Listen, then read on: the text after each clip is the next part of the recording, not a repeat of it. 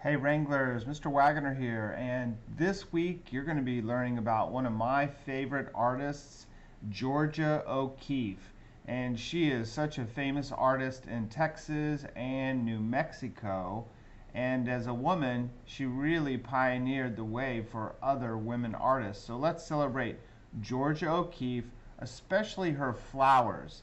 In a moment, I'm going to be drawing a flower like O'Keeffe and you can do as well. So on the PowerPoint, the last page of this PowerPoint we'll go through, that's some of the flowers you can choose. You can do a flower like me on my drawing, or you can pick one of the flowers on this PowerPoint.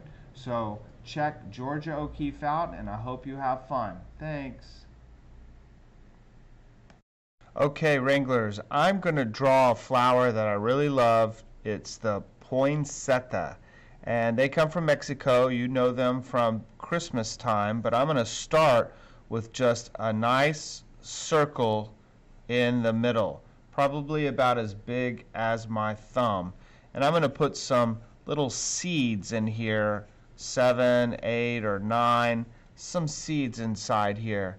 Now, I'm going to take and I'm going to try to always draw up vertically. So I'm going to start out with one line like this and one line like this. Notice it's a little bit like a teardrop. So here's the teardrop and there's the point. Now I'm going to rotate my paper. Did you see how I just rotated my paper? And right next to this little teardrop, I'm going to put another one. Notice where I'm holding my pencil in the middle. I'm not trying to do this. I can't see what I'm doing. I want to rest my palm on the paper and I want to hold my pencil in the middle. Now look what I'm going to do. Rotate. It's easier for me to always draw vertically up. So here I go for another teardrop. Rotate. Rotate. And it's okay if some of your teardrops are different. It's definitely okay for them to be a little different. Alright, so I've gone all the way around. And it doesn't matter how many petals you have. It just means that you fill up that area. Now, check this out. This is where it gets a little more interesting. So, I don't want to keep doing the same size petals through here. I actually want to make a bigger petal. So if everyone can rotate their paper just a little bit, do you see this W? Huh? Yeah, it's a W. I see a W right here. Do you? Okay, look where I'm going to begin. I'm going to begin right here this time. And I'm going to begin right here this time. Oh, my petal's getting a little bit bigger. So now I'm going to rotate. Oh, do you see this W right here?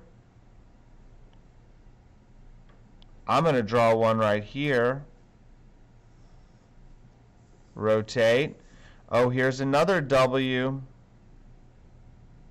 So I'm going to draw another one right here. It's similar to the teardrop, guys, but you don't get to see the bottom part of that teardrop. Oh, here's another W. Okie dokie. Ooh, that's looking good. Now check it out. Now I have, well, it's actually another W. It's flatter, but it's still there. So now I'm going to start here and I'm going to do one here. Rotate. Oh, here's another W. I see it. Oh, these petals are getting bigger. Rotate. Here's another one. I just have a little point right there. But boys and girls, if your petals turn out different than mine, that's okay. Okay, so I still have more room. Georgia loved to draw big, so I want you to draw big too. So here we go. Rotate. Here we go. Rotate. I still see those W's. That's where we're putting our next petal.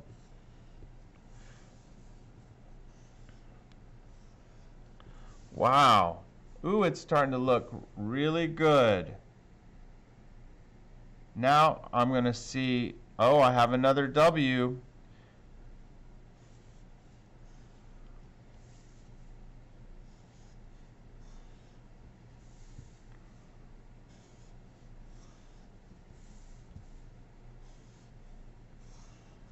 Yay. Now, you may want to put some lines down the center of these petals. Sometimes those lines show realism, like this flower looks real. That's going to be your choice. But for me, boys and girls, that looks really good. Now, I'm going to outline it in black um, marker or black crayon or black colored pencil, and then I'm going to color it in. So rejoin me in just a minute. Okay, Wranglers, you can see that I've used my colored pencil to outline in black, and I used my colored pencils to shade in my Georgia O'Keeffe flower. I hope you have a wonderful time. You can use my flower as your model, or you can draw one of the other flowers at the end of the PowerPoint presentation. Be sure to upload a photo to my Google Classroom. I hope you have fun with this. Uh, miss you, and I will see you later. Bye, Wranglers.